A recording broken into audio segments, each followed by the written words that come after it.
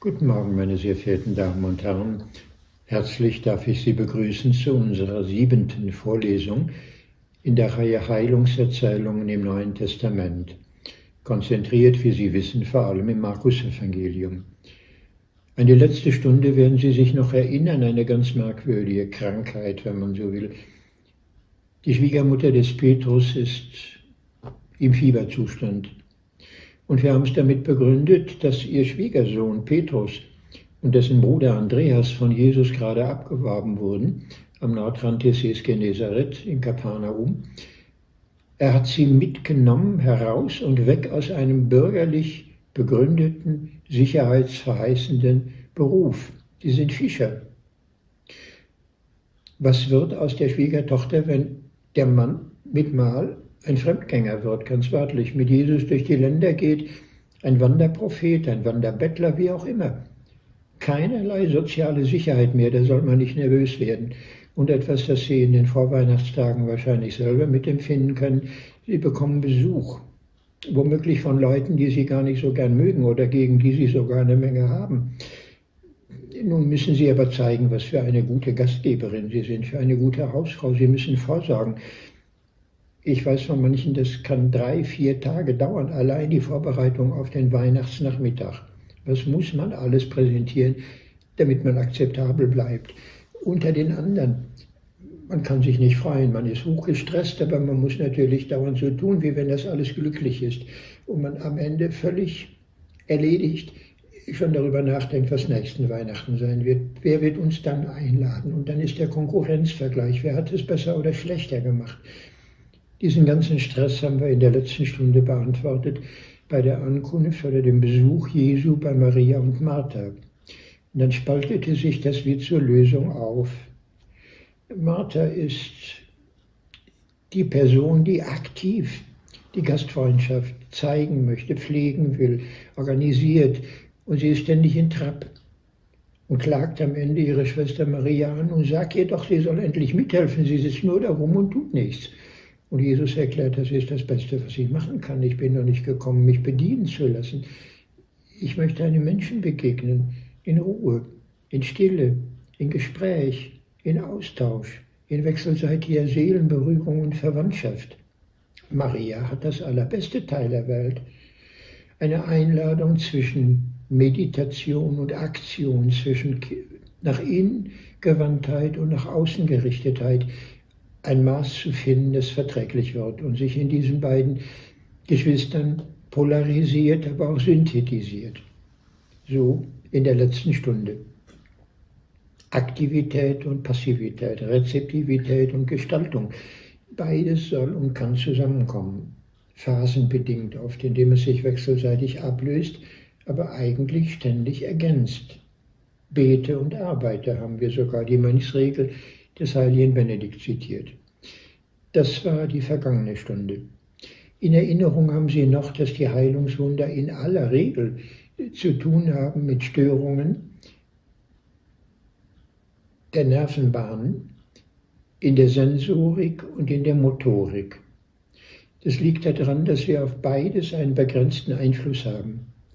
Willentlich natürlich organisieren müssen, was soll uns interessieren, in der Sensorik, welche Einflüsse, Informationen, Reize müssen wir beachten, weil sie eine Bedeutung haben.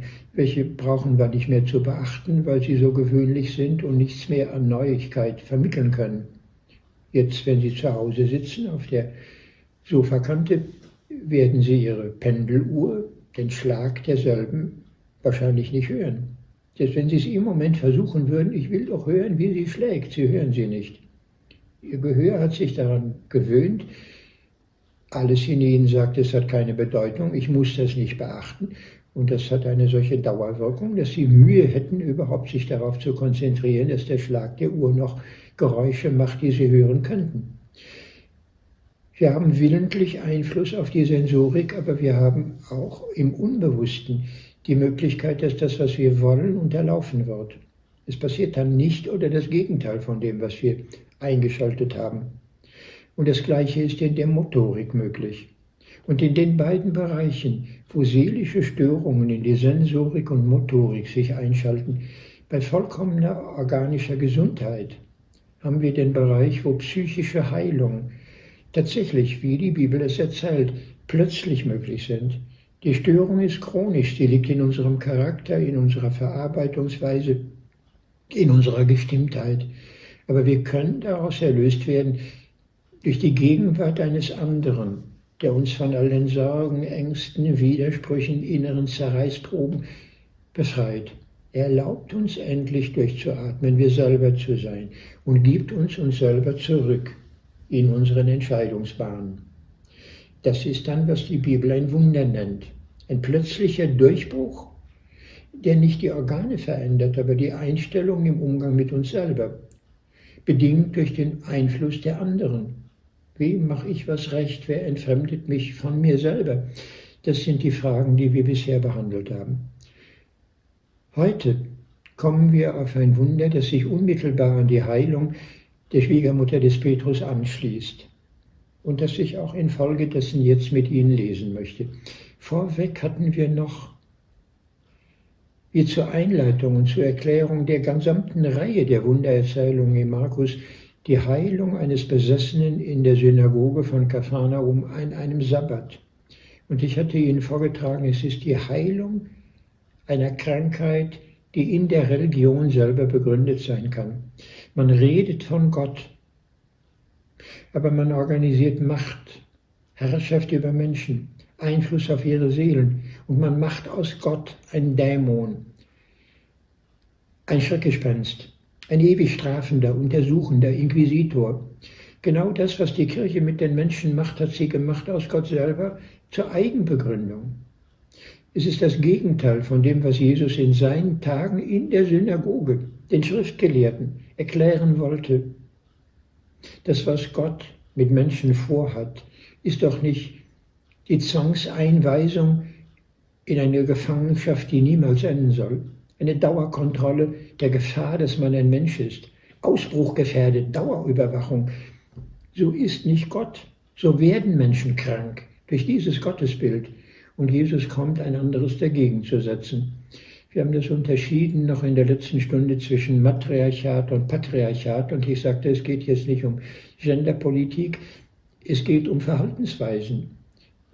Mit Patriarchat verbindet man, dass Menschen einander akzeptieren, mögen können, hochschätzen aufgrund ihrer Leistung, die sie erbringen, des Nutzens für die Gesellschaft, des Nutzens in der Firma für den Inhaber der Firma, ist ein Schema auch der Ausbeutung, auch des Benutztwerdens, des Abzweckens der Person anderer zu bestimmten Dienstleistungen, die, wenn sie sie gut verrichten, Anerkennung, sogar Aufstieg, Prämien, Karriere verheißen mögen, aber es ist immer bedingungsweise. Das nennt man Patriarchalismus. Und hat dabei die Vorstellung, dass Väter ihre Kinder erst richtig annehmen, aufnehmen, sich zu ihnen wenden, wenn sie etwas können, wenn sie für was da sind, wenn sie schon mal zeigen, es ist ganz wie der Großvater, es ist ganz mein Sohn, dann wird man stolz auf die Tüchtigkeit. Von Frauen, von Müttern denkt man sich die Vorstellung anders und hat dafür auch sinnfällige Beweise. Eine Mutter wird ihr Kind lieben in einem Zustand, wo es als Neugeborenes überhaupt nichts kann, nichts weiß, nichts tut, keine Verdienste erbringen kann, ist völlig hilfsbedürftig. Alles, was es braucht, ist die Mutter selber. Und die Verbindung zwischen Mutter und diesem Kind, das noch gar nichts kann und weiß und tut, ist so innig, wie sie nur sein kann. Und sie ist tragfähig für das ganze Leben. Das meint man mit Matriarchat, eine Verbindung, die unbedingt gilt einfach für die Tatsache, dass du da bist. Ich liebe dich nicht für das, was du leistest, sondern für das, was du bist. Eine Mutter wird nachträglich bestätigen, ich habe dich gewünscht. Du bist mein Wunschkind. So wird sie es erleben, jedenfalls wenn es gut geht. So ist es nicht. Keine Mutter hat dieses ihr Kind, das sie zur Welt bracht, wünschen können, aber sie empfindet so. Und das meint Matriarchat. Jesus nun spricht von Gott, im Grunde indem er die Patriarchalismen seiner Religion zu seiner Zeit umwandelt in eine matriarchal religiös begründete Grundhaltung. Gott kann dich nicht mögen erst für das, was du richtig machst, wenn du die Gebote hältst, wenn du dich rein erhalten hast, wenn du ein Mann des Gesetzes bis 613 Gesetze, perfekt auf der Schnur, alle mündlichen Kommentargesetze inklusive. Die Bedingung dafür, dass du mit dir klarkommst, dass du den Moralismus der Gesetzereligion überhaupt ableisten kannst, mehr oder minder, liegt darin, dass du dich akzeptiert fühlen darfst, gewünscht vorkommen darfst, gemocht fühlen darfst, in den Händen und den Armen Gottes. Das ist, was Jesus in die Welt bringt. Und das ist die Energie, Menschen zu heilen.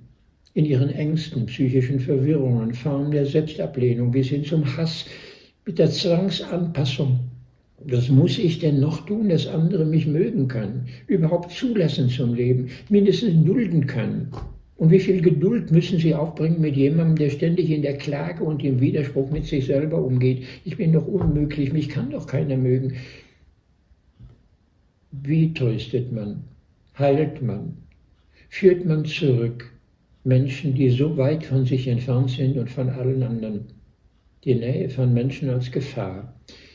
Das ist das Thema, dem wir uns heute zuwenden. Gleich die nächste Geschichte in Markus Kapitel 1 ist nämlich die Heilung eines Aussätzigen.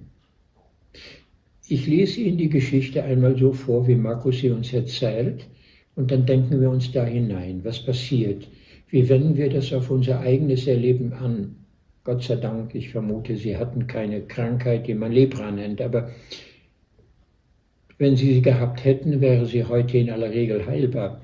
In den Tagen Jesu sah man das vollkommen anders und das müssen wir in der Härte der Auseinandersetzung, der Ausgrenzung, die mit Leprakranken sich verbunden hat, uns nochmal verdeutlichen und dann übertragen in eine ganze Reihe von Anwendungsfällen, die im Sozialen liegen, psychologischen liegen.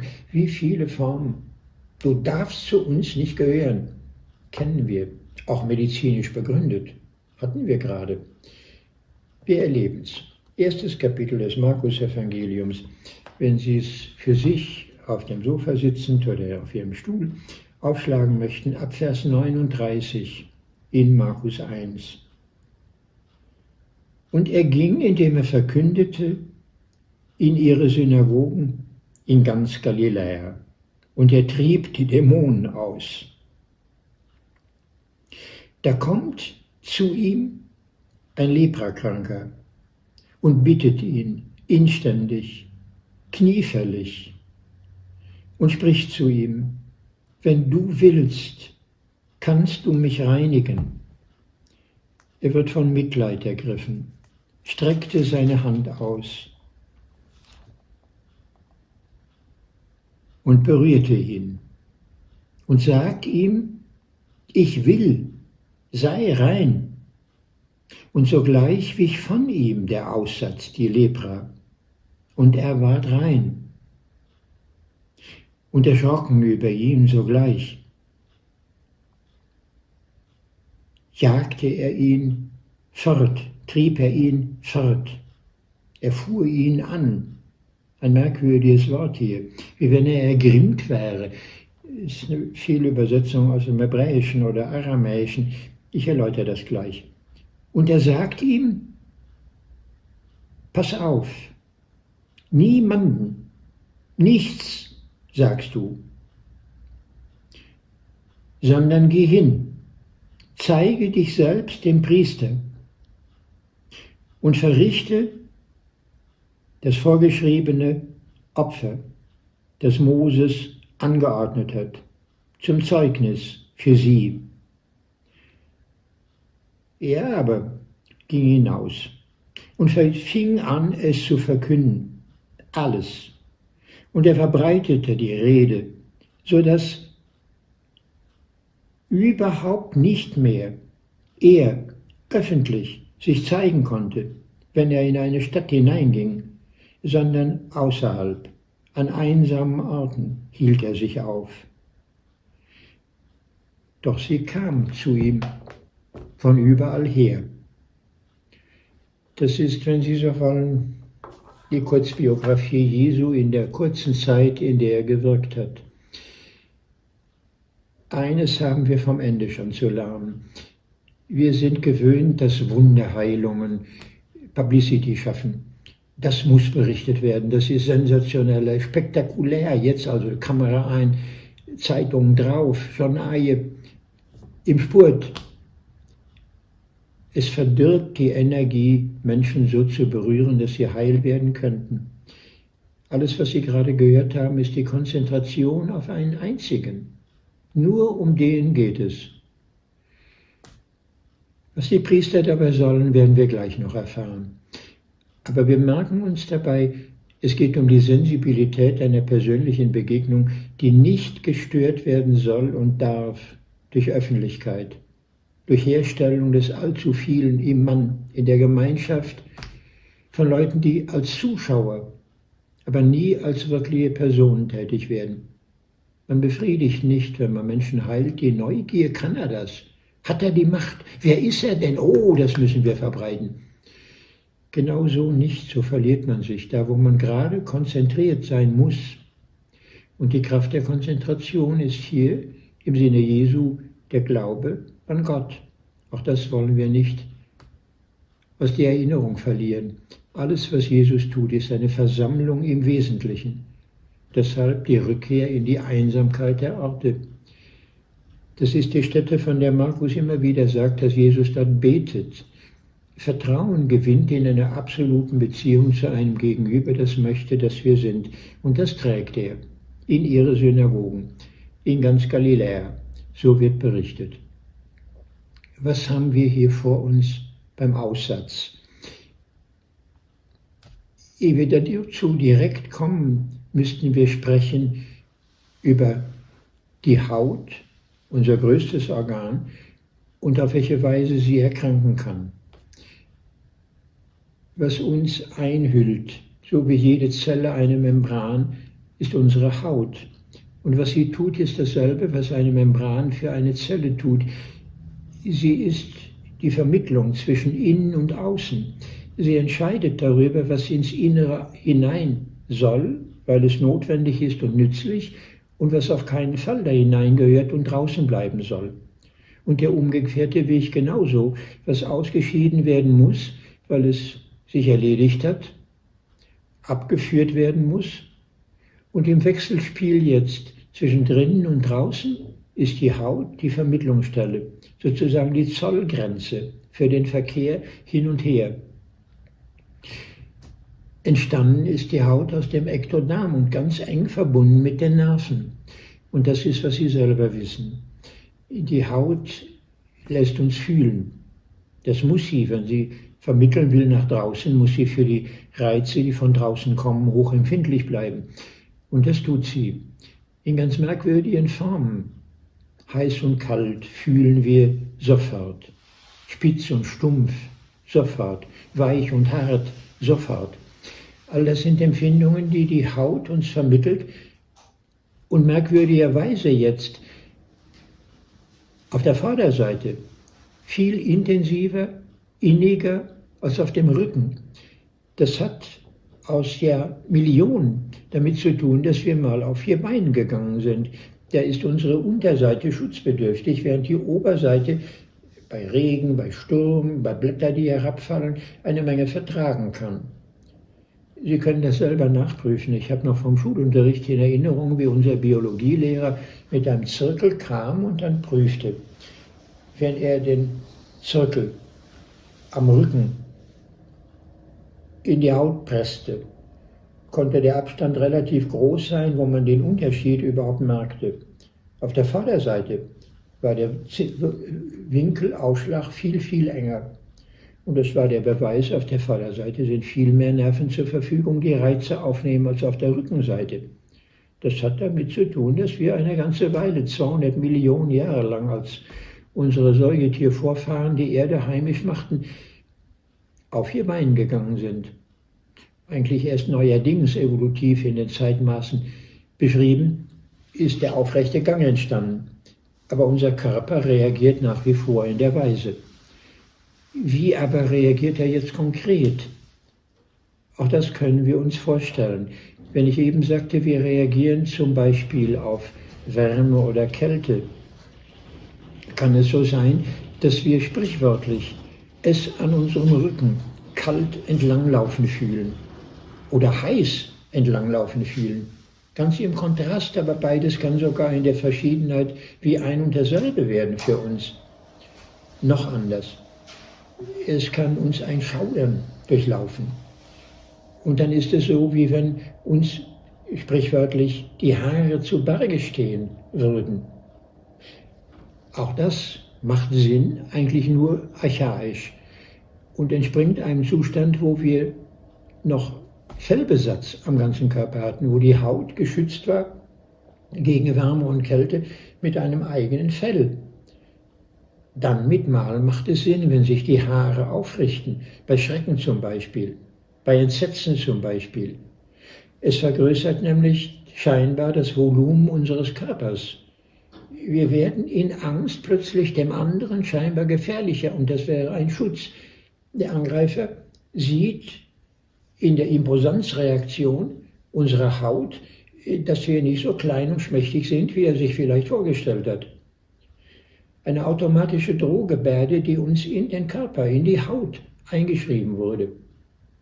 Selbstvergrößerung durch Aufrichten von Haaren. Das andere kann natürlich auch sein. Wir ziehen uns ganz eng zusammen. Wir drücken uns an die Erde und machen uns unsichtbar. Lauter Spielarten sind das, die die Haut zeigen als ein Vermittlungsorgan, das dem Willen weitgehend entzogen sein mag. Und was hat das alles jetzt zu tun mit Lepra und Aussatz und wo soll das hinführen? Gehen wir nur einen kleinen Schritt weiter. Die Haut ist ein Signal ja nicht nur in Schreckmomenten, in dem der Körper sich scheinbar vergrößert. Wir sehen dem anderen ins Gesicht und dann ist die Haut auch sprechend für die Seele des anderen. Wie werden wir angeschaut? Das ist in den Augen. Wie ist unsere Mimik? Das ist im ganzen Gesicht. Aber auch die Haut spielt dabei eine ganz große Rolle. Ist sie weiß oder bräunlich? in welchen Farben spielen. Ist sie rein oder unrein? Das wird jetzt eine Schlüsselfrage für unsere Geschichte. Der Mann, der zu Jesus kommen möchte, gereinigt werden. Sie alle kennen das, wie schwierig es werden mag, wenn man zwölf Jahre alt wird, 14 Jahre alt wird. Man kommt in die sogenannte Pubertät, ein Schimpfwort beinahe. Es hat damit zu tun, dass man Probleme bekommt mit Akne, mit Hautausschlag. Der Hormonaushalt verändert sich und das ist nicht wohlgeordnet und die Haut kann mit Mal Probleme schaffen.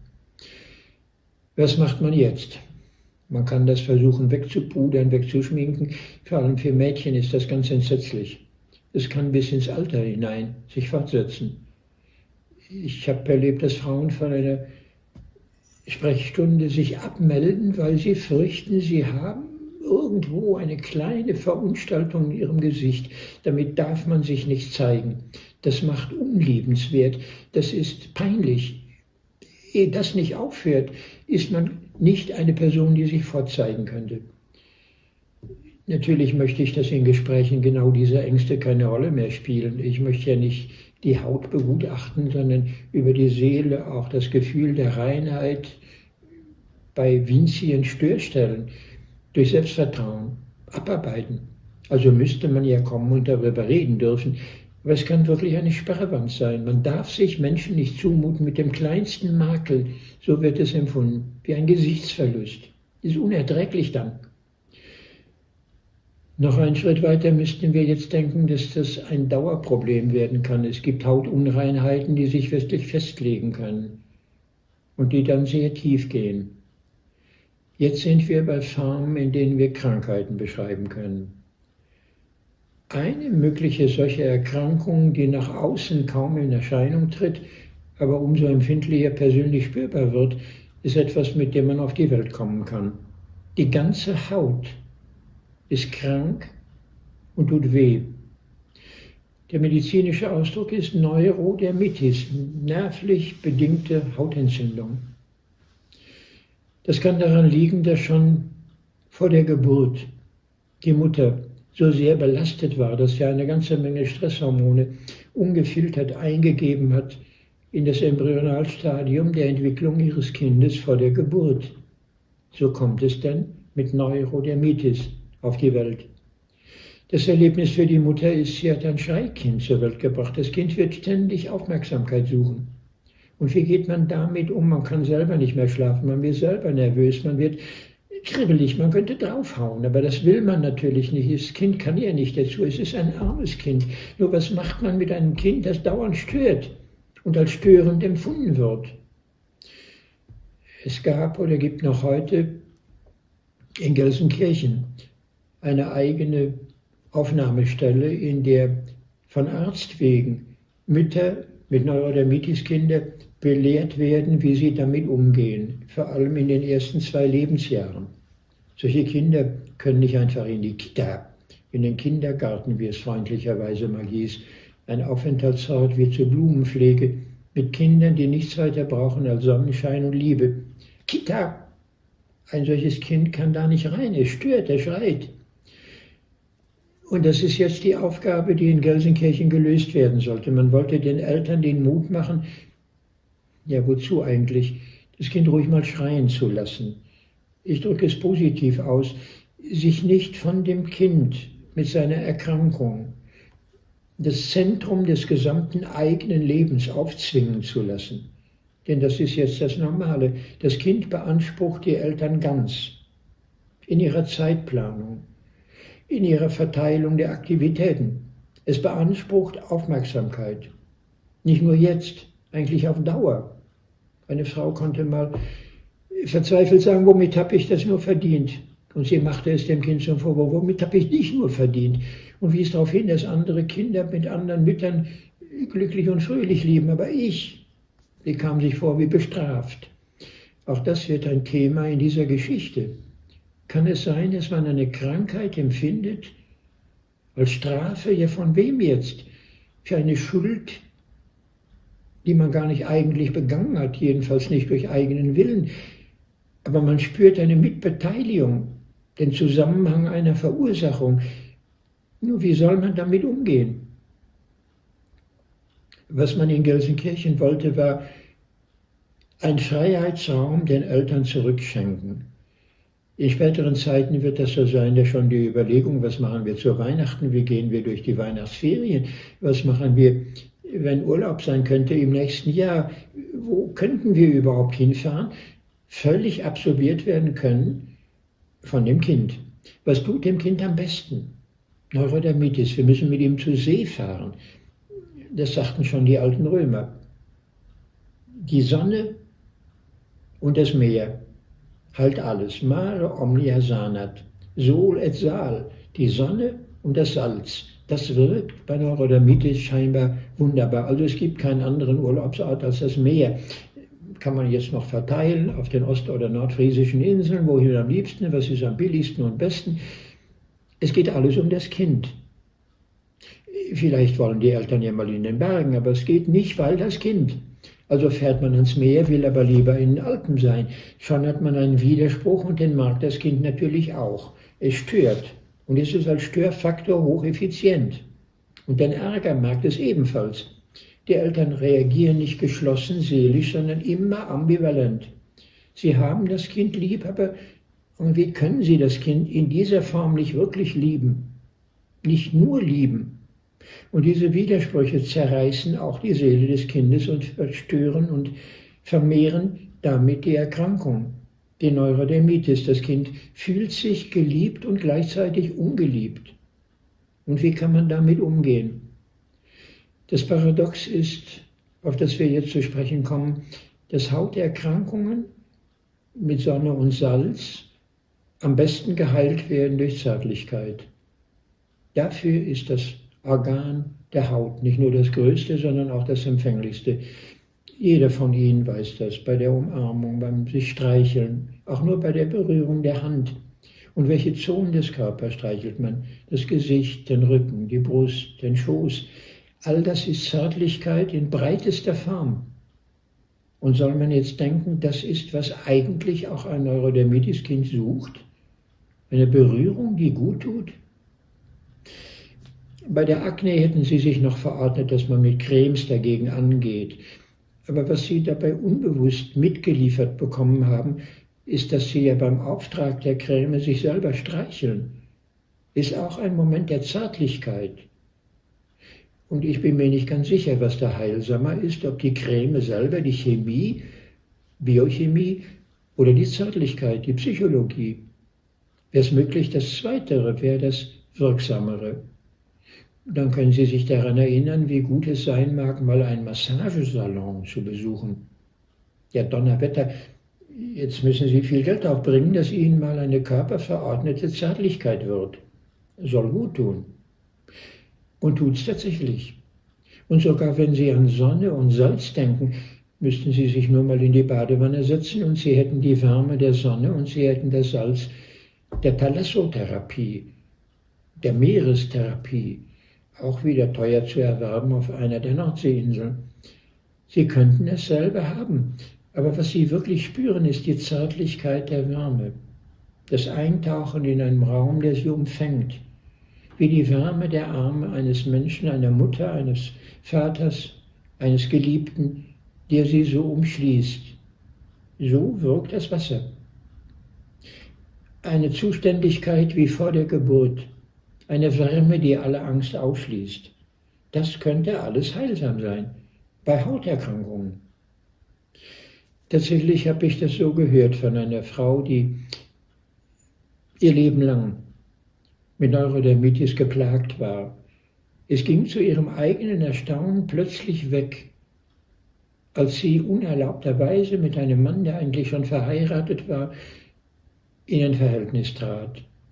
Alles, was sie machte, war nach ihrer Moralauffassung Sünde, hätte überhaupt nicht sein dürfen. Aber die Energie der Verbundenheit, die Sehnsucht, endlich geliebt zu werden, hob sie hinweg über alle Gesetze. Es tat ihr gut. Selbst die Schuldgefühle spielten die Rolle nicht mehr. Die Selbstablehnung, ich bin nicht liebenswert. Wie kann man einen Menschen wie mich denn überhaupt lieb haben? Wurden weggenommen durch die Erfahrung einer Wirklichkeit ganz anderer Art. Endlich gibt es Geborgenheit. Endlich gibt es Annahme von Grund auf. Endlich darf ich sein. Endlich habe ich das Gefühl, gemocht zu werden. Dieser andere mag mich wirklich. Er spielt nicht mit der Liebe. Er will wirklich mich. Und er irrt sich nicht in der Person. Alles, was er mir sagt, ist wie eine Widerlegung meiner Minderwertigkeitsgefühle ahnen Sie, was sein könnte und sein müsste, ehe man sich hinbewegt zu einer Heilung der Haut von einer schweren Krankheit? Und Sie beginnen ungefähr zu verstehen, was Jesus hier macht. Schalten wir noch dazwischen. Es gibt Hauterkrankungen, die furchtbar sind. So sehr, dass wir sie kaum zu Gesicht bekommen. In der Nähe von Münster in Ornheide gibt es und gab es eine Spezialklinik für Lupus erythematodes Erkrankungen. Lupus ist Wolf und Erythematodes ist rötlich machend. Eigentlich ist das eine Erkrankung, die sich hineinfrisst durch Autoimmunreaktion. Und sie kann bis in den Körper hinein, über die Haut, ganze Teile wegnehmen und fressen. Schlimme Verunstaltungen im Gesicht, an den Händen, an den Gliedmaßen. Eine furchtbar erscheinende Erkrankung. Deshalb werden die Leute, damit sie keine Dauerbelastung mehr sind beim Ansehen durch andere, ausgegliedert, in eine Spezialklinik gebracht. Behandelt in gewissem Sinne. Glucocorticoide kann man einsetzen, Stresshormone, simpel gesprochen. In der Hoffnung, dass sich die Krankheit zumeist mildern könnte. In der Anfangsphase kann das sein. Die Spätschäden sind eigentlich nicht mehr heilbar, es sei denn durch Beauty-Chirurgie. Eine neue Abteilung, die wir erfunden haben, sehr viel später. Eigentlich sind wir hilflos gegenüber solchen Erkrankungen, aber Autoimmunerkrankungen sind in aller Regel stressbedingt, eine Überreaktion des Körpers auf sich selber, Angst, die sich einfrisst, jetzt in die Haut und angreift, bissig wird, gefährlich wird, schädlich wird und wehtut, immer nur wehtut, der ganze eigene Körper. Ein riesiges Feld des Schmerzes.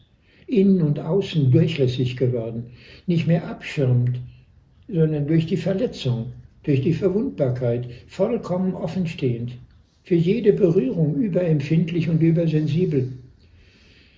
Wie man damit zu leben lernt, ist auch ein psychologisches Thema, ein therapeutisches. Aber wie will man es denn vermitteln?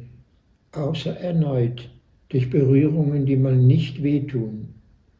Und wie sensibel müssten die jetzt sein? Wie feinnervig? Wie einfühlend? Der andere hat Angst, berührt zu werden. Also kann man keine Nähe, körperlich ohne dies nicht, aber nicht einmal seelisch mit ihm in Verbindung bringen, außer in den Zonen der Erlaubnis. Nur ganz, ganz langsam. Diese Frau mit ihrer Neurodermitis konnte mir eines Tages sagen, wie unser Gespräch verlief, über lange Zeit hin. Wenn sie kam, saß sie in dem Stuhl, aber unsichtbar. Sie hatte wunderbare Haare, aber die ließ sie lang vor das Gesicht fallen wie eine Schutzwand. Das Gesicht war unsichtbar. Man durfte sie nicht sehen. Irgendwann änderte sich das. Sie erzählte auch ihre Träume. Und dann hatte sie einen Traum. Sie geht über die Straße und sieht, dass ich hinter ihr herkomme. Ein großer Abstand. Ich begleite sie, aber halte den Abstand ein. Und das ist ihr Trost. Ich verringere nicht den Schutzabstand, den sie sich selber verordnet. Keine allzu große Nähe, keine aufgezwungene Annäherung. Der Abstand wird eingehalten in Respekt vor ihrer Angst. Es ist mal erlaubt, Angst haben zu dürfen. Wenn das so ist, kann es zum Wunsch werden, der andere möchte ein Stück näher kommen. Schrittweise. Das ist die Geschichte von Exupérys kleinen Prinzen. Der Fuchs kommt immer dem Prinzen ein Stückchen näher. Und mit jeder Annäherung wird er vertrauter. Lässt er sich zähm in seiner Angst von einem wilden Tier gewissermaßen zu einem Haustier. Er findet eine Heimat in der Nähe des kleinen Prinzen. Und der Fuchs kann dem kleinen Prinzen eine Menge beibringen, was er noch lernen muss, um mit Menschen zurechtzukommen. So ähnlich in Kurzform bei Exupéry alles, was wir Psychotherapie nennen. Nimm Rücksicht auf die Angst des anderen. Überwältige sie nicht. Geh schonend damit um. Schonend ist das Gegenteil von zudringlich. Rechne damit, wie berührungsempfindlich die Haut des anderen ist. Wie leicht etwas, das zärtlich gemeint ist, ihm immer noch wehtun kann, in Erinnerung all des Verletzenden, das er erleben musste. Nur ganz langsam mit viel Geduld, mit einer räumlichen Verschiebung aufeinander zu. So kann es gehen und anders überhaupt nicht. Wenn wir bei der Lupuskrankheit sind, haben wir eine der Vorformen, die in schlimmster Prägung uns auf das Krankheitssignal vorbereiten, von dem hier gesprochen wird. Lepra. Aussatz. Das ist eine Erkrankung, die auch zu tun hat mit Verschiebungen unserer Immunabwehr, aber die bedingt ist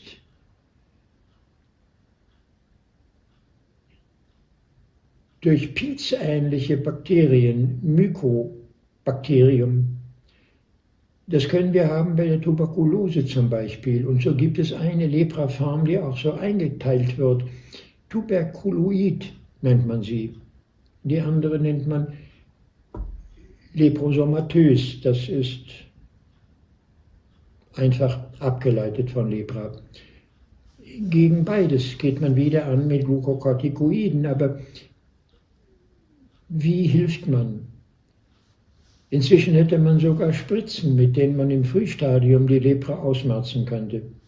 Das wäre ein Heilmittel für die Welt, denn immer noch wütet die Lepra und unbehandelt kann sie zu furchtbaren Ausfällen führen.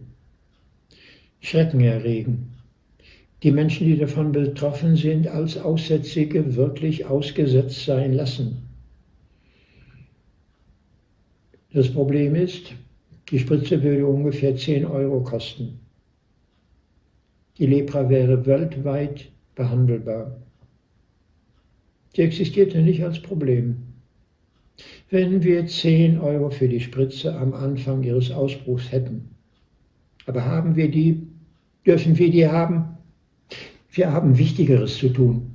Militär zum Beispiel, da müssen wir Menschen ermorden können. Wir müssen sie bei lebendigem Leibe verbrennen können. Wir müssen ihre Haut so vernichten können, dass nichts mehr übrig bleibt. Dafür haben wir Geld milliardenfach. 800 Milliarden jedes Jahr in den USA, 100 Milliarden Sondervermögen in Deutschland. Für Lepra? Nee, unmöglich. 10 Euro für Lepra, für ein paar hunderttausend Menschen, deren Leben mal lebenswert gemacht werden könnte. Nein, nein, nein, nein. Dürfen wir nicht. Sparen müssen wir immer an der falschen Stelle. Ein wunderbares Wort hier im Markus Evangelium ist, der wurde Jesus von Mitleid ergriffen. Ich kann die Pause gar nicht lang genug machen. Die ganze Welt würde sich ändern, wird sich ändern, wenn Menschen mal reagieren auf menschliche Not mit Mitleid. Das ist die Bedingung, überhaupt heilend und heilsam miteinander umgehen zu können. Für Arthur Schopenhauer war Mitleid die Grundform von ethisch anständigem Verhalten im Umgang miteinander. Ergriffen von Mitleid. Das, was der andere in seinem Leid empfindet, geht mich etwas an, macht etwas mit mir. Das ist Mitleiden. An seiner Stelle Gemeinsamkeit aufnehmen, in der Verbundenheit gemeinsamen Leids.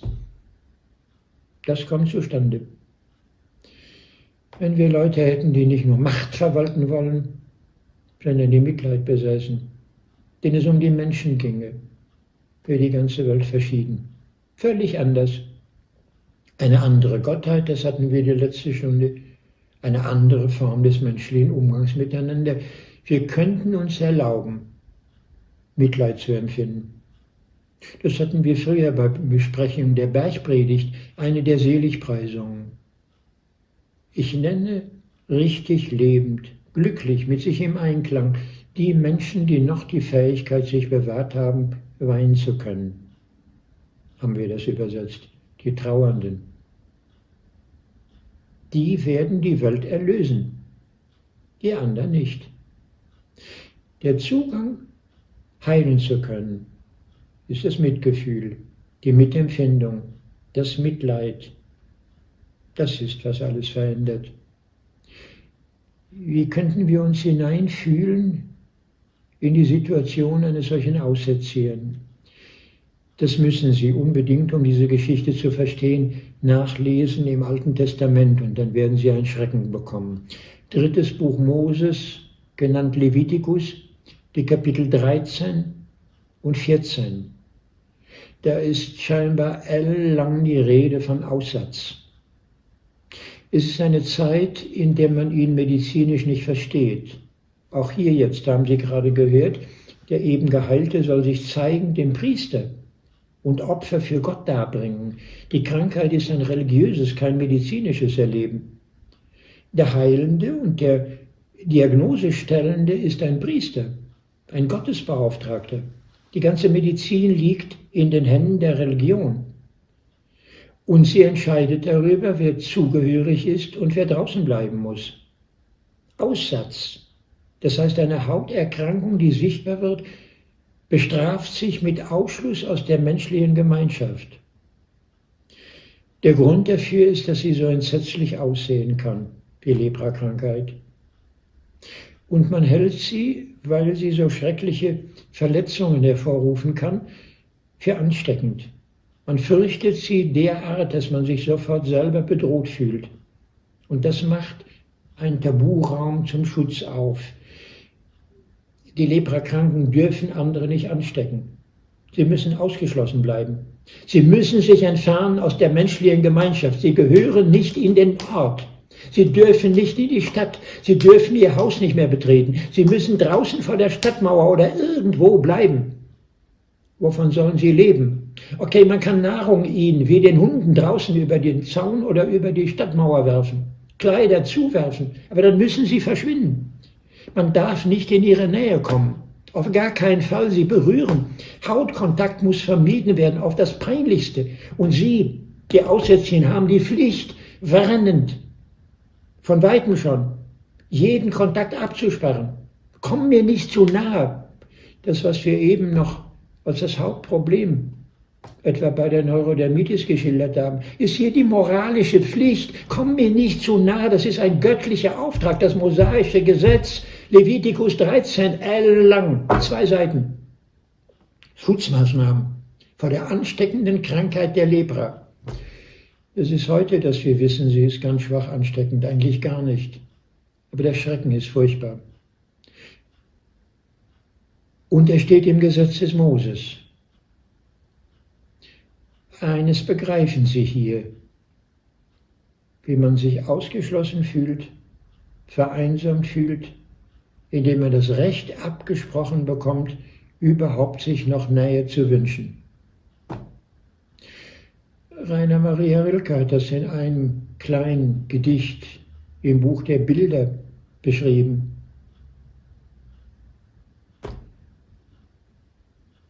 Sie. Ich bin einer, dem alles genommen wird. Keiner mehr in der Stadt weiß von mir.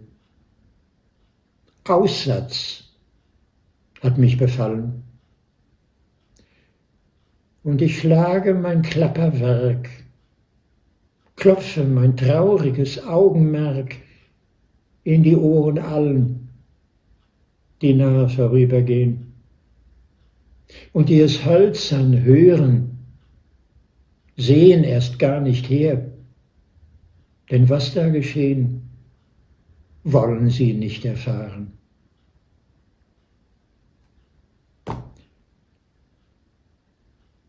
Soweit der Klang meiner Klappe reicht, bin ich zu Hause. Aber vielleicht machst du meine Klappe so laut, dass sich niemand in meine Ferne traut, der mir sonst aus der Nähe weicht, so dass ich sehr lange gehen kann, ohne Mädchen, Mann oder Frau oder Kind zu entdecken. Tiere will ich nicht schrecken. Ich zitiere Rilke, weil Mitempfinden sich darin ausdrückt. Die erste Hälfte des Gedichts ist nicht vollkommen im Endreim sondern weist eine Menge Stillstellen auf. Und das muss auch sein, weil sprachlich wiedergegeben wird ein Stück der Eigenempfindung. Nichts passt zueinander. Erst in der Quintessenz, in der Darstellung der restlosen Einsamkeit reimt sich alles, lückenlos bis zum Ende. Passt eins ins andere in der vollkommenen Isolation. Es gibt keine Menschen mehr, man ist zu Hause im Unzuhause. Man ist so weit entfernt von allen, dass man Menschen gar nicht mehr antrifft. Dafür stehen die Tiere einem nahe. Und das ist fast wie ein Gottessegen. Die kann man nicht erschrecken. Die fürchten nicht den Anblick eines Aussätzigen. Aber die anderen, mit der Klapper warnend, in der Nähe würden sie fliehen. Aber der Klang der Klappe wird sie schon von ferne abhalten. Auch davor weichen sie zurück. Und zur Kenntnis nehmen will und wird das keiner. Wegschauen, weggehen, nur nicht hinsehen, nur nicht darauf zugehen. Das ist das wirklich Furchtbare jetzt im Gesetz des Moses. Die Kontakt absperren bei einer Krankheit, die im Hautbereich gerade die Annäherung brauchen würde. Die Zärtlichkeit, die Wärme des Herzens, das sich mitteilt in körperlicher Nähe, unterdrückt und verbietet.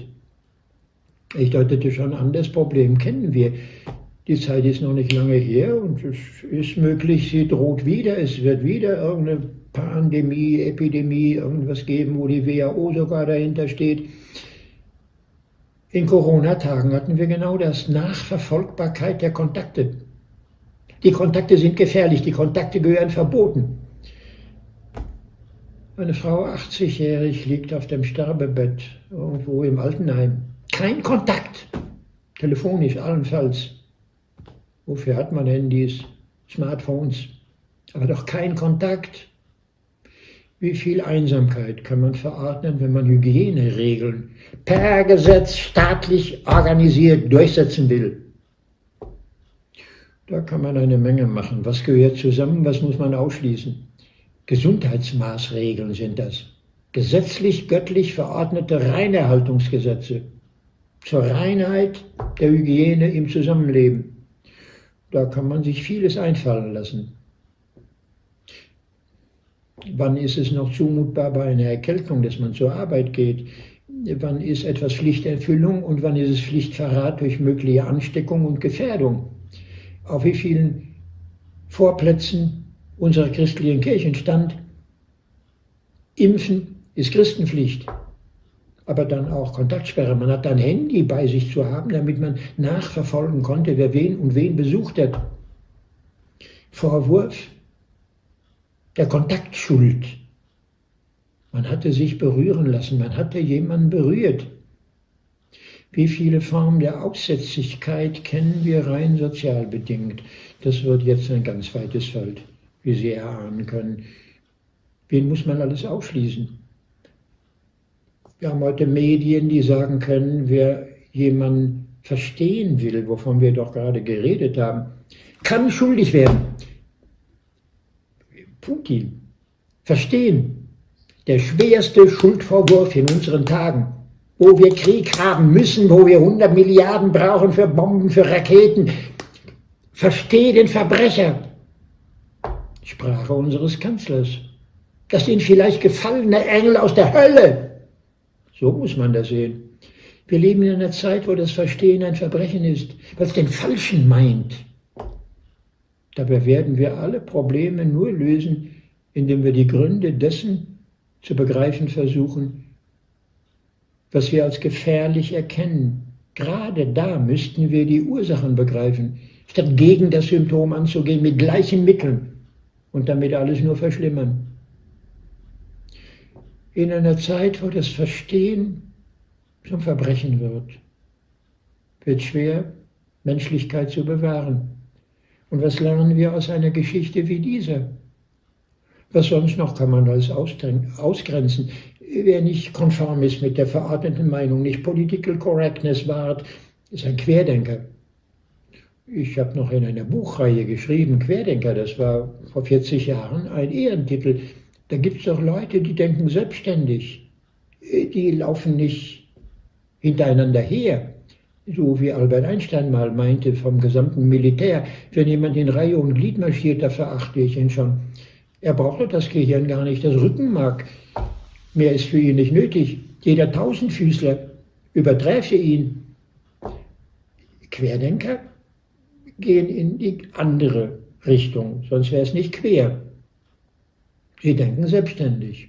Sie nehmen das Risiko in Kauf, dass Sie Widerspruch ernten und den brauchen Sie auch, weil die Stromlinienfermi-Ausrichtung der Gedankenbahn Ihnen nicht richtig vorkommt, korrekturbedürftig erscheint. Sie müssen Sie ein Stück mal gucken, wie es jetzt weitergehen soll. Ein Schlusspunkt wird gesetzt, alles unangenehm, schwierig, äh, Zumutung, muss man gegen sein. Für die Leute, die immer schon wissen, was die anderen sagen, damit es richtig ist, auch für sie selber, die das eigene Denken vermeiden, werden Querdenken als Vorwurf erleben. Als Störenfriede wieder, als unanständig geradezu. Wie redet man miteinander, außer man bestätigt sich wechselseitig, wie man es gerne hätte. Man hört dem anderen so zu, dass man sein Echo wird. Kann man haben. Aber dann vermeidet man, Persönlichkeit auszubilden. In diesen Wust von Ausgrenzungen hinein gibt es viele Ebenen. Manche können rein psychologisch bedingt sein. Kinder mussten aufwachsen und fühlten sich ausgegrenzt, ausgesetzt durch vielerlei Umstände. Ist heute in den Schulen ein schlimmer Wettbewerb, dass die Kinder reichere Eltern natürlich demonstrieren, dass sie etwas sind, dass ihre Eltern stolz sein können auf sie, dass aus ihnen durch den Vorteil in dieser Familie groß geworden zu sein natürlich auch besondere Ansprüche entstehen. Und das geht nicht mit so einem Bettelkind daneben an, einem halben Asozialen, wo der Vater keinen Arbeitsplatz hat, wo die Mutter den ganzen Tag hinter einer Theke stehen muss. Das kann sich nicht schön kleiden. Das hat zu Weihnachten nicht die schönen Schüchen. Das bekommt auch nicht alles, was sie sich gewünscht hätte, unter dem Weihnachtsbaum. Also kann man darauf nur verächtlich herabschauen. Wenn Sie das gelernt haben, kann es zum Dauergefühl werden. Ich bin ein Niemand, ein Nichts. Ich bin nicht reich, nicht stark, nicht tüchtig, nicht schön, nicht groß, nicht klug. Ich komme auf den Bahnsteig und alle Züge sind längst abgefahren. Ich hinke immer hinterher und ich finde nie den Anschluss. Wenn das zum Grundgefühl wird, haben Sie Aufsatz. Sie sitzen da immer draußen. Und dieses Gefühl wird so stark, dass Sie es später in Repetition den anderen auch vermitteln. Wie ich eben sagte bei der Neurodermitis-Patientin, Sie trauen sich an die anderen gar nicht mehr ran. Sie werden doch nur verstoßen, verspottet, verlacht.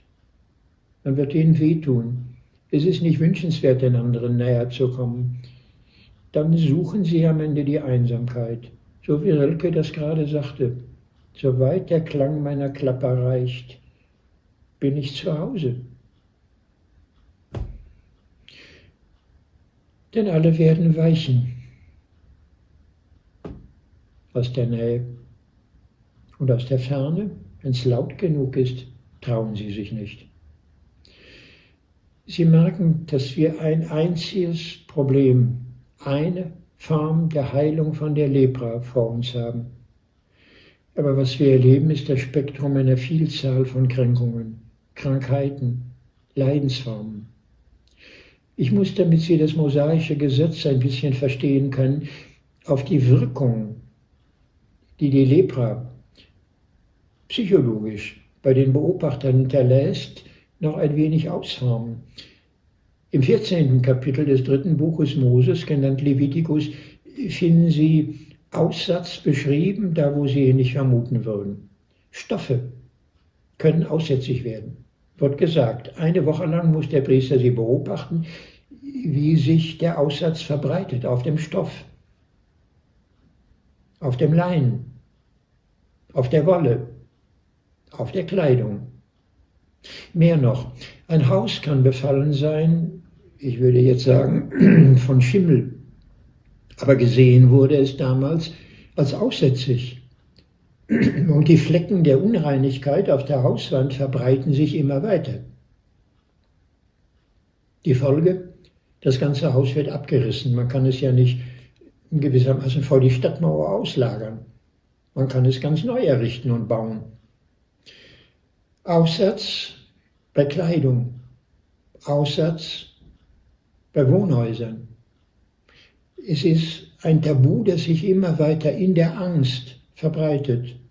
Und was kann man tun, dem zu begegnen?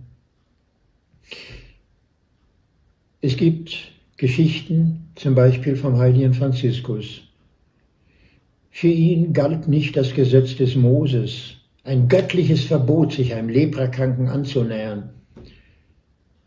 Er tat es einfach. Er überwand das Tabu der Psychologie, der Angst und des Ekels vor der Entstellung des Gesichts eines anderen.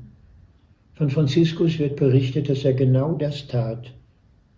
Er ging auf einen Leprakranken zu und umarmte ihn. Er riskierte die Gefahr der Ansteckung. Um 1200 hätte man medizinisch das unbedingt geglaubt. Es gibt andere Beispiele. Man hatte im 19., 18. Jahrhundert Sonderinseln gesucht, auf die man die Aussätzigen verfrachtete. Molokai war und ist so eine Insel. Und man erzählt von Damian de Wüste, einem Heiligen, dass er sein Leben einsetzte, die Leute auf Molokai, die Leprakranken, zu besuchen. Ich will sagen, nicht nur zu besuchen, sondern sein eigenes Leben mit ihnen zu teilen. Das ist das Ungeheuerliche. Ich erzähle es gerne und immer mal wieder. Mein Freund Jacques Caillot, Bischof einmal von Evreux, in die Kirche als Bischof abgesetzt hat, brachte sein weiteres Leben damit zu, dass er in der Rue de Dragon in Paris sich zusammensetzte mit den Sans-Papiers, Asylsuchende ohne Bescheinigung. Das ist hier in Paderborn ein unglaubliches Problem in unserer Behörde. Könnte ich Beispiele erzählen, die dadurch beeindrucken, dass es in anderen Städten sehr viel einfacher sein kann. Aber die Ausländerabteilung in einem katholisch geführten, CDU-abhängigen Ort muss streng sein. Und jetzt erst recht. Wir haben Ausländergesetz, das ganze Migrationsproblem. Wir haben kein Geld für Migration. Die Bevölkerung verträgt nicht den Zuzug. 800.000 Ukrainer sofort, aber alle anderen eben nicht. Diejenigen, die vor den Kriegen fliehen, die wir selber angezettelt haben, nicht bei uns. Ist wieder Politik. Ausgrenzung. Jacques Caillot hat das Problem als Franzose. Viele der Ausländer kommen natürlich aus Algerien, dem Land der Kolonialherrschaft der Franzosen, des Bürgerkriegs der Franzosen, der Terrorangriffe auf Franzosen, der Unterdrückung der Terroristen durch Militärzustände, fast hätte ich gesagt wie im Nahen Osten. Die Folgen sind heute noch in der Banlieue, im Vorort Vierteln, rings um Paris bis heute greifbar. Irgendwann wurde Jacques Caillot den Ämtern auffällig, verdächtig, gerichtlich vorzuladen. Er ist gestorben im letzten Jahr und eine linkskatholische Zeitung auf Französisch Gaulier hat berichtet, wie es dazuging. Die Staatsanwaltschaft fragt ihn, was machen Sie mit denen? Predigen Sie denen? Die sanfte Antwort meines Freundes Jacques lautete, ich habe denen nicht gepredigt. Sie haben mir erzählt, von ihrer Einsamkeit, von ihrer Hoffnungslosigkeit, von ihrer Verlorenheit, von ihrer Mutlosigkeit, von ihrer Geduld, von ihrer zögernden Hoffnung, von ihrer Dankbarkeit für einen kleinen Augenblick angeschaut zu werden. Ich habe denen nicht gepredigt. Sie haben mir erzählt von Gott. Können Sie das verstehen? Redet er zu Ihnen auch im Gerichtssaal? Ausgesetzte, Aussätzige. Das Entscheidende hier in der Erzählung ist, dass Jesus, ergriffen von Mitleid, das Gefühl der Verbundenheit mit einem Kranken, der ihn braucht, der ihn kniefällig anredet, hilf mir doch. Wenn du willst, kannst du es doch. Über das Gesetz des Moses sich hinwegsetzt. Da steht es geschrieben, aber im eigenen Herzen herrscht ein ganz anderes Gesetz. Und die gefühlte Menschlichkeit, ist eigentlich doch das, mein Jesus, was Gott wirklich gewollt hat. Er will nicht, dass man Menschen aussperrt. Er wird später sagen in der Bergpredigt, er lässt seine Sonne aufgehen über Gute und Böse, lässt es regnen über Gerechte und Ungerechte. Und er müsste hier hinzufügen über Reine und Unreine. Das ist genau dasselbe. Es ist kultisch mit verankert, wie ich ja sage. Wie wäre das ein moralisches Gebrechen, wenn man aussätzlich wäre? In der Vielfältigkeit der Formen, die ich eben sozial, psychologisch, somatisch versucht habe zu verdeutlichen. Die Grenzen sind nicht so klar, wie wir sie medizinisch gerne hätten. Wenn ich schon sage, manches ist dabei eine Autoimmunerkrankung, ist ja deutlich, dass die Reaktion von draußen sich hineinfrisst über die Angst der Seele bis in den Körper hinein und sich dann wieder rückend äußert in dem Umgang miteinander. Was Jesus hier tut, ist entsprechend seinem Gottesbild, von dem wir sagten, es heilt die ganze Religion. Eines strafenden, gerechten, Gesetze verlassenden Gottes, eines beaufsichtigenden Gottes, eine Allmacht im Himmel, eine Kontrollinstanz dauernd, Er verwandelt dieses Gottesbild in eine wohltuende Güte, die uns will und meint. Und das ist jetzt der Ernstfall Jesu. Wenn wir das glauben, gibt es keine Ausgeschlossenen, gibt es keine Auszusetzenden mehr, weder durch körperliche Erkrankungen noch durch soziale Unterschiede, noch durch moralische Divergenzen. Es gibt unter dem einen Himmel Gottes, wenn darin Wohnung hat, denjenigen, den Jesus unseren aller Vater nennt, kein Mensch, der ausgeschlossen wäre. Darum geht es hier. Es geht nicht um die Heilung eines einen Leprakranken. Es geht um die Änderung der Welt. Durch Mitleid sagte ich eben. Durch eine neue Definition der Zusammengehörigkeit. Das zeigt sich jetzt.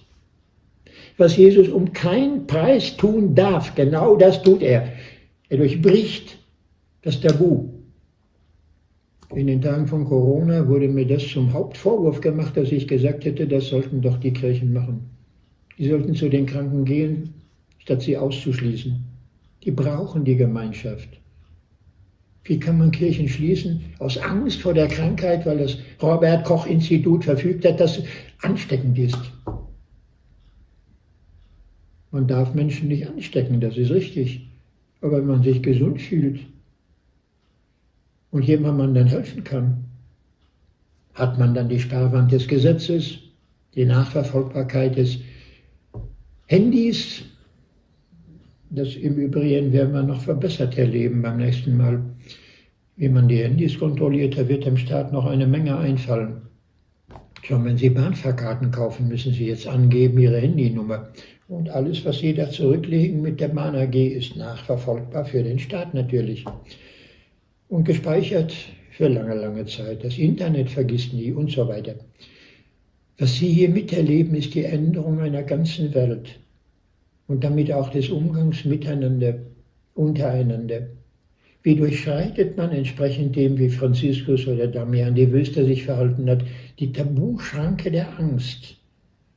Das ist um 1200 oder im 19. Jahrhundert ein rein psychisches Problem geworden. In den Tagen Jesu ist es ein zutiefst religiöses Problem dann begreifen Sie, warum es Jesus so wichtig wird, dass er schimpfend, wenn man das ja wörtlich übersetzen soll, mit Nachdruck übersetzt sich Liebe.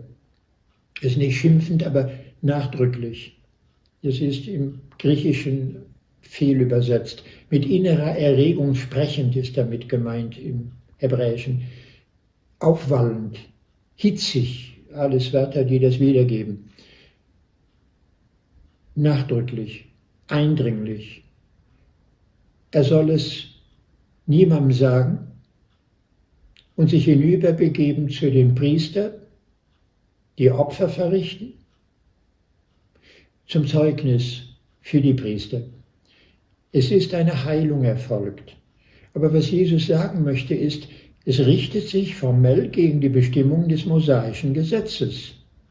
In Wirklichkeit aber wird es dem Gott gerecht, den ich so verstehe, wie er sich selber verstanden haben möchte. Er ist die Liebe und dafür als Zeugnis tritt die Heilung ein.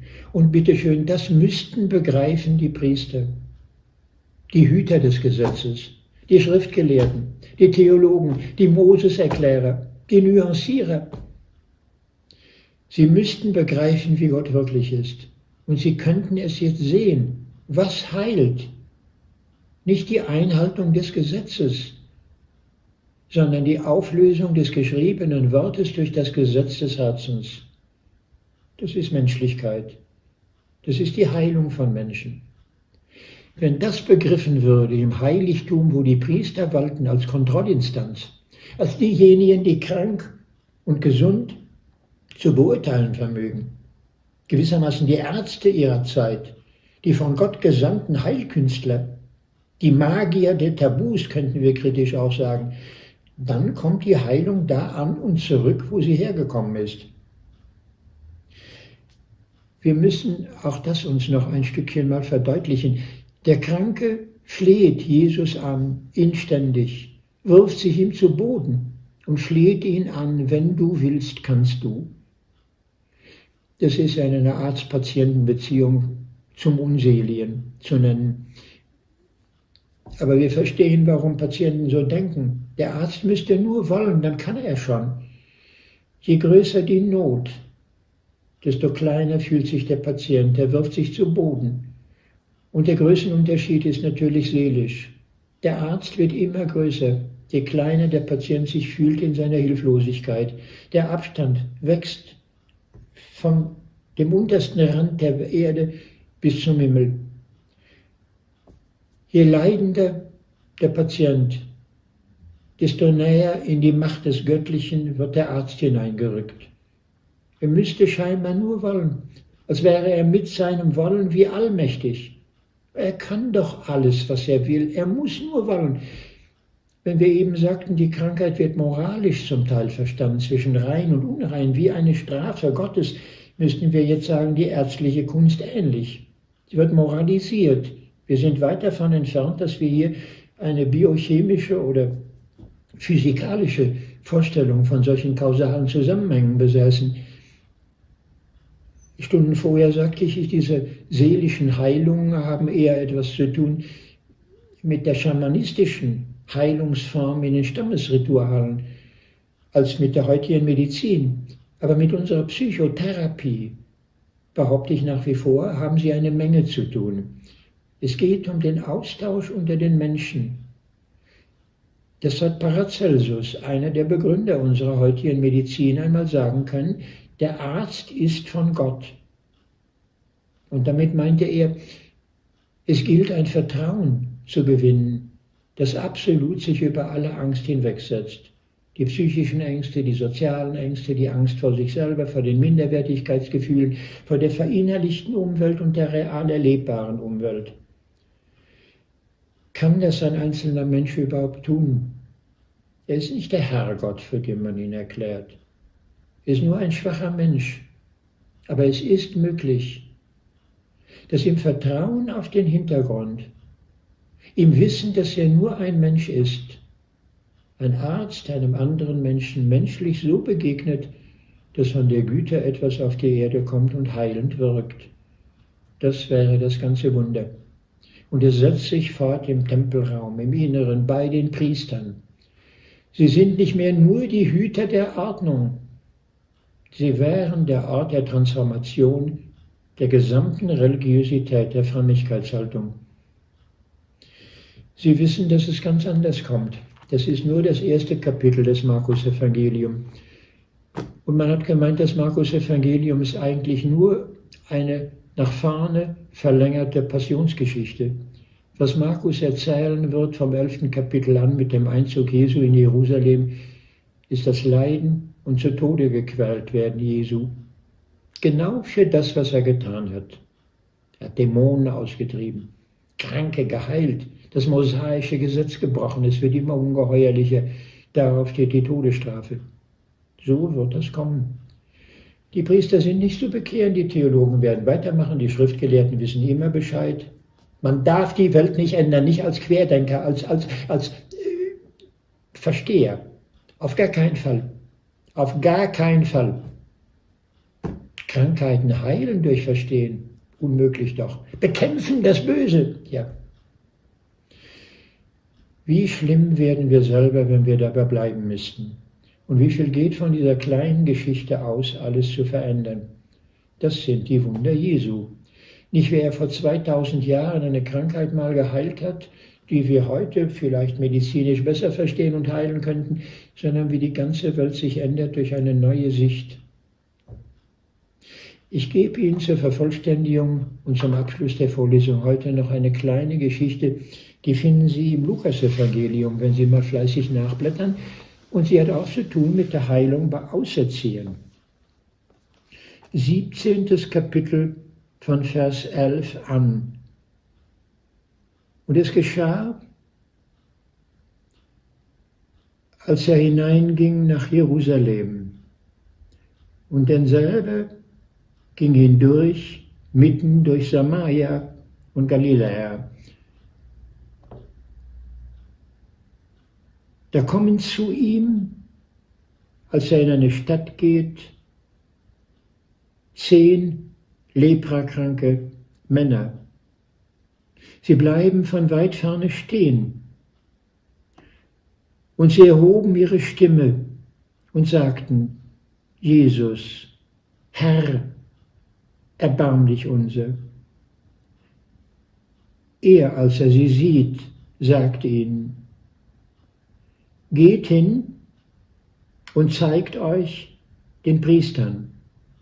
Und es geschah, indem sie gingen, wurden sie gereinigt. Einer von ihnen aber, als er sah, dass die Lepra von ihm gewichen war, mit lauter Stimme zu Gott kehrte er zurück und er fiel auf sein Gesicht, Jesus zu Füßen und dankte ihm.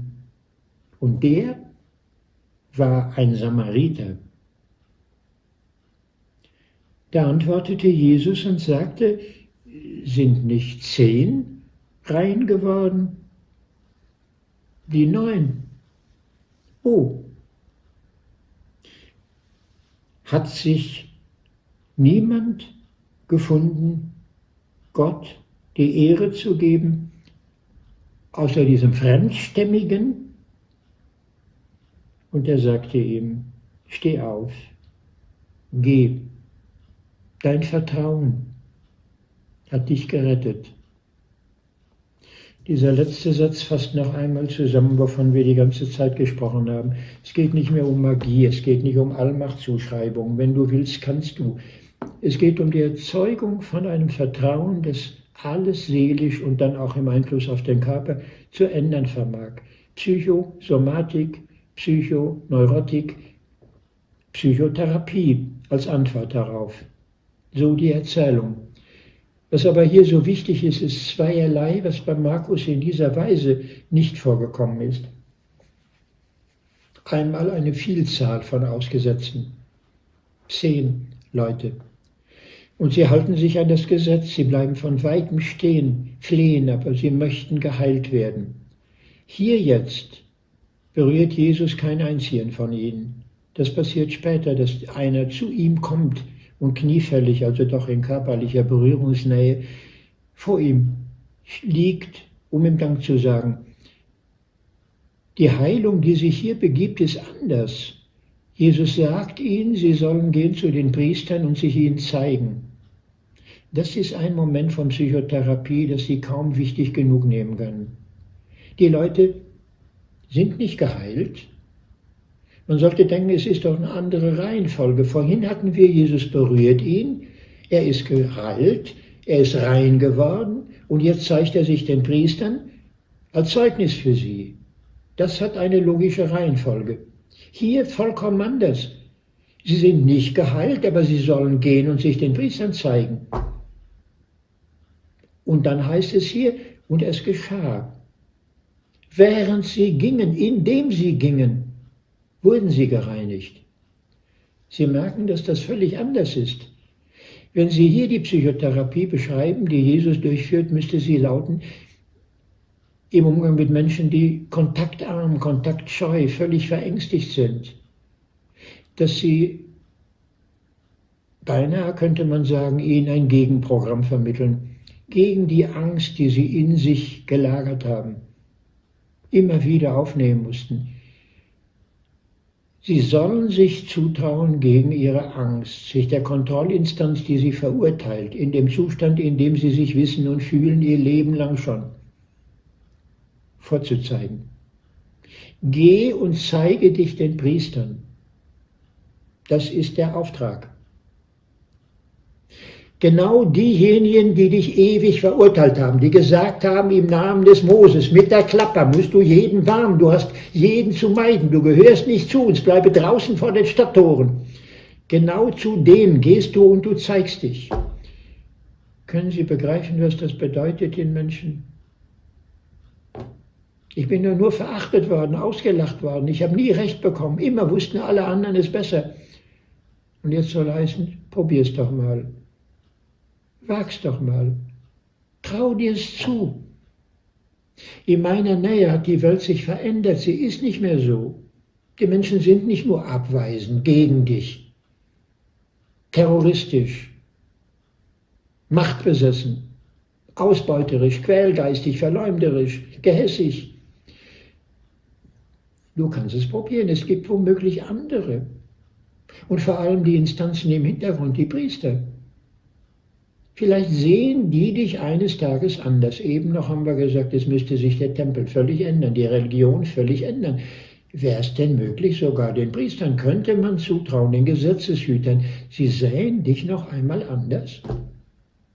Und es wäre nicht nur ausnahmsweise, es wäre generell, also zehn Leute auf dem Haufen.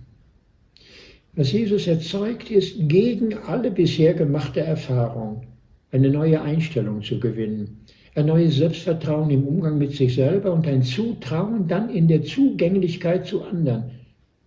Das möchte er. Es ist hier der Auftrag. Die Heilung kann nur gestehen bei diesem Vertrauen und Zutrauen, das selber gewonnen wird durch den Auftrag Jesu. Anders käme es nicht zustande. Indem sie es tun, indem sie gehen, indem sie es probieren, bessert sich's. Sind sie mitmal nicht mehr die Ausgesetzten, sondern genauso rein wie alle anderen. Sie sind nicht mehr verachtenswert, soll das heißen, nicht mehr hässlich, nicht mehr gekennzeichnet, nicht mehr mit Makeln behaftet. Sie sind ganz normale Menschen.